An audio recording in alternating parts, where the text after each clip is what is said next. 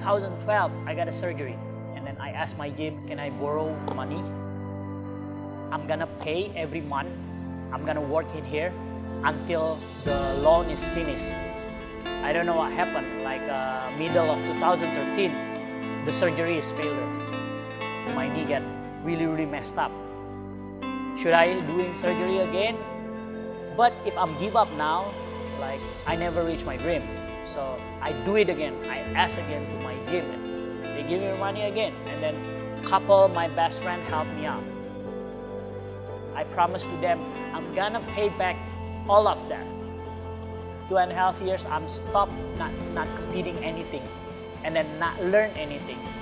Nobody wants to train with me because they, they all think I'm done. I'm done because already two times surgery. I promised to myself like when I'm healing, I'm gonna working so hard. I don't want to miss my time again. So I can I can improve, you know, no matter what happens.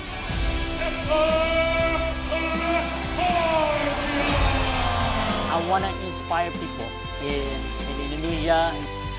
No matter how hard your situation, I think they can still reach your dream.